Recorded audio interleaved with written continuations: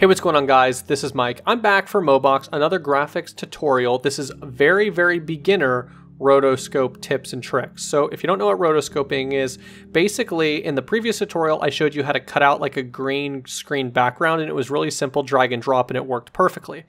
Sometimes you have to cut video out that does not have a green screen, and that could be a complete nightmare. If you could use a green screen, I highly recommend it. There's really not a lot of great options to do it without it, but some uh, some compositions that you want to maybe accomplish certain effects with, you have no other choice but to hand do it yourself. There's a number of different ways. I'm going to show you the easiest way, very beginner tutorial, a lot of uh, legwork that needs to get completed to do it, but it's it's a very simple way for a beginner.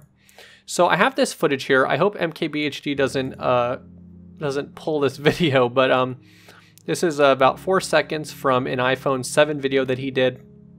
And basically, I just want to cut out his hand um, with the phone in it very simply um, to kind of remove the background and add my own background. So this, again, it's very, very, very simple. Um, there's not a lot of motion his his fingers don't move very much. There's just a little bit of rotation, a little bit of scale, a little position change.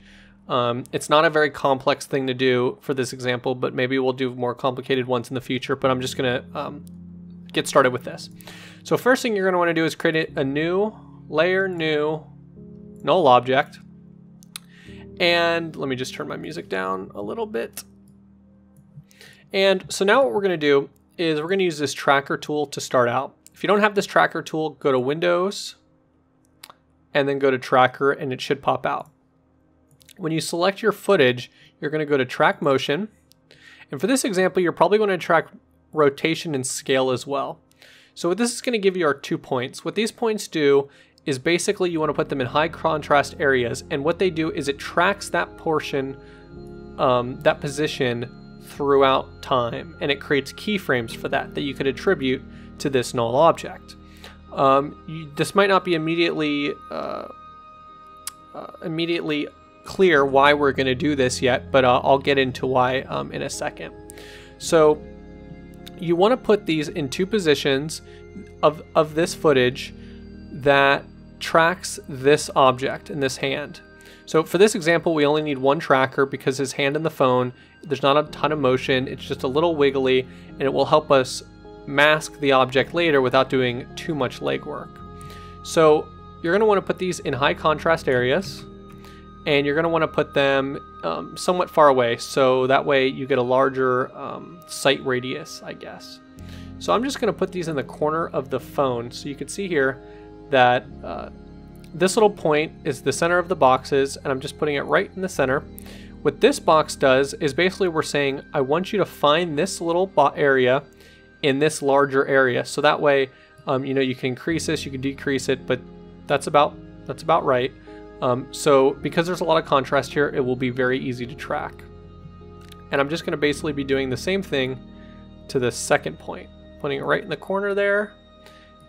And basically we're tracking this section in this box, and that gives it us a nice um, a nice long radius so that way we could we could see the phone rotating a little bit maybe coming scaling up and down. And basically from here we're just gonna hit the play button. Now we could do it frame by frame and see how well it's tracking it. And if it's not tracking it well we could we could you know help it along. But uh, again this is a very easy track. So I'm just gonna hit play and it will go through and track the motion of the phone throughout the video. And then the video cuts off and it goes veering off.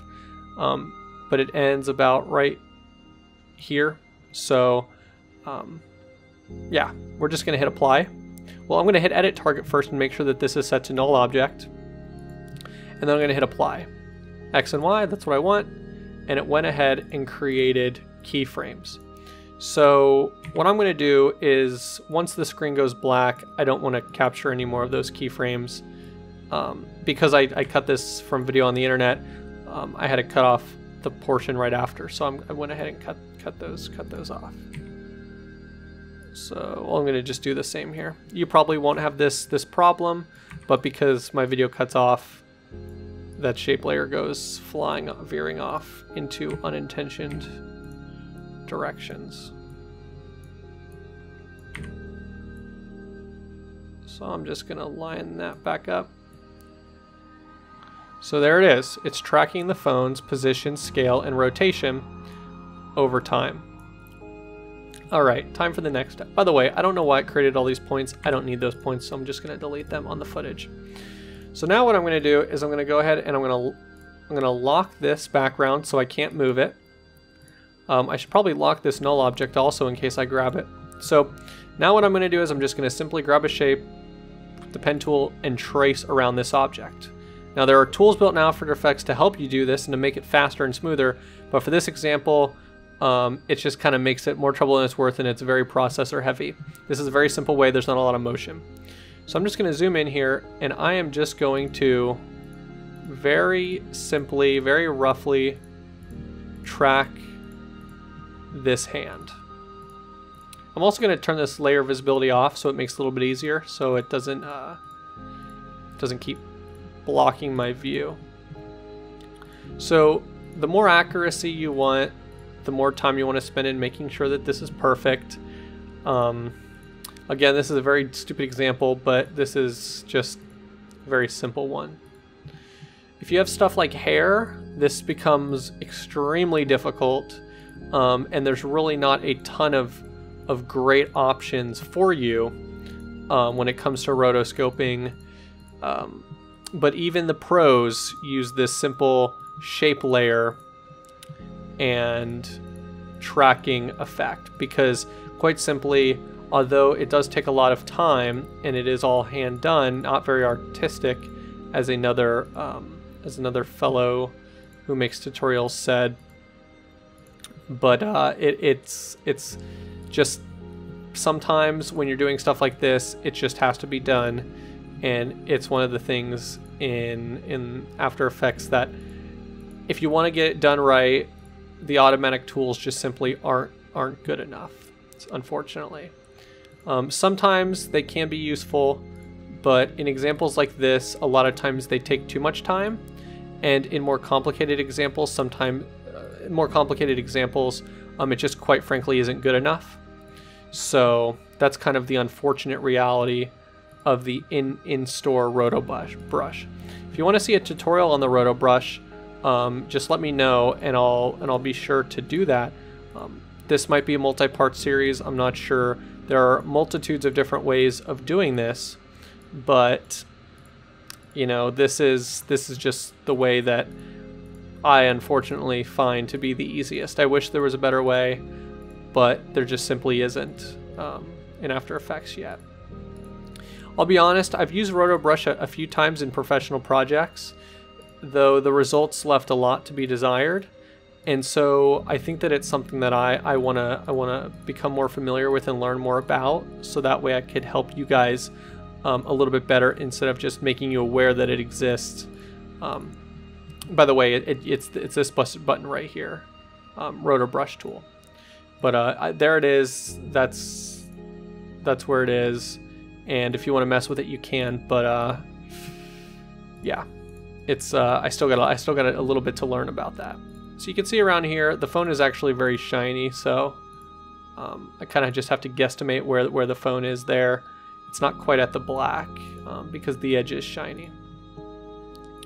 So again, this is just by hand going through. And I'm going to bring this down a little bit more just in case the hand moves outside of the range of the shape. So there we go. Now we have the shape basically covering the entire hand and the entire phone. You can see it's not quite perfect, but it's it's pretty close for this example. Um, one more thing that I want to do is on this shape layer, I want to right click, come to mask, new mask, press M on the keyboard, and I'm making that invisible again. And I basically want to mask this piece out because that piece, um, for example, I'll show you. Um, I'll, I'll, I'll, finish masking it out later. I'll, I'll get to why I want to mask that out. Basically, I'm going to take this mask layer, which I'll, I'll call um, Roto Mask. I want to pair this up to the to the null object, because remember this null object has the movement.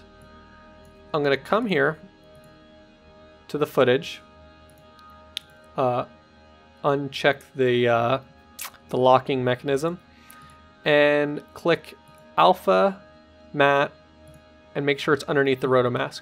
So you can see here that it cuts out his hand and the phone exactly how you'd expect. And because the rotomask is attached to the null object's motion, it moves with the with the motion of the video. Now again, his fingers aren't moving that much. If they were, you'd have to come in here to the rotomask, to the contents, to the shape, to the path, and you'd have to set path keyframes, fixing issues that arise. So, for example, uh, let's see, why is that not uh, moving? So for example, let's say, let's say for example, his finger moved and we needed to, to move these keyframes. You, you, you can set keyframes for motion, um, but again, there's not a ton of motion here that requires um, that type of, of control. Now, you can see down here, it's not quite perfect, so we could we could bring these a little bit closer just to, you know, get rid of that the white background a little bit better. And again, this is all by hand, so really you can reshape these these uh, you know to your heart's content. Most people won't be able to tell because again it's being sliced out.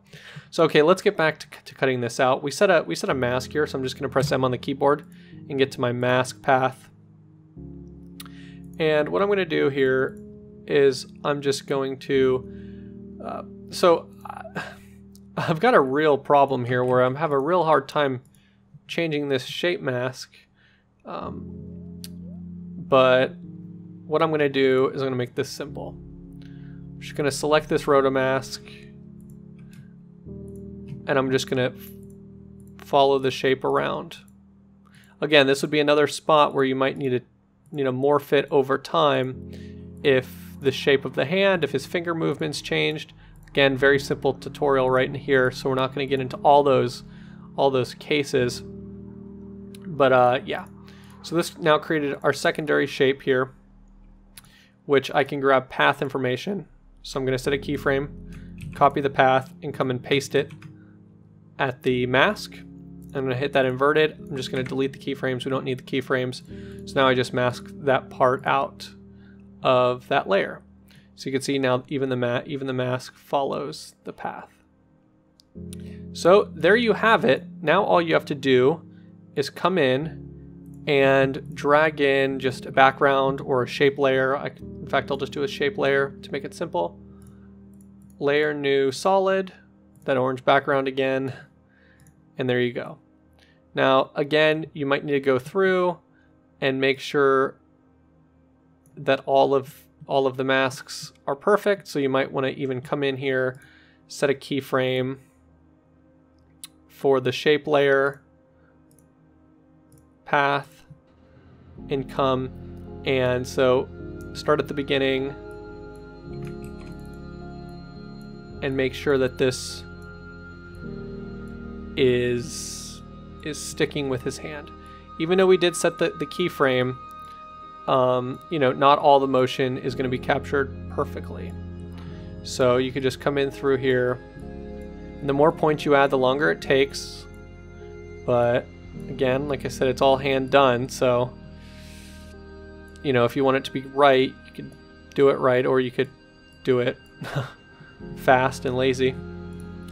So again, you know, these these edges need to be cleaned up, and depending on how much time you want to put in it, basically you would just keep adding pass to make sure you clean up these edges whenever it starts um, veering off a little too much.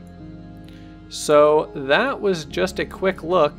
Again, you could spend as much time as you'd like, but uh, this is a quick look at how to set keyframes and kind of quickly, simply add path information and rotoscoping of a very simple example very minimal motion, very minimal rotation to help, you know, cut something out of a video. So I hope you enjoyed this video. If you want to see more, let me know, and I will do a follow up um, video on other techniques you could use. Anyways, guys, if you enjoyed this video, give it a like. If you want to see more, subscribe. And as always, thanks for watching.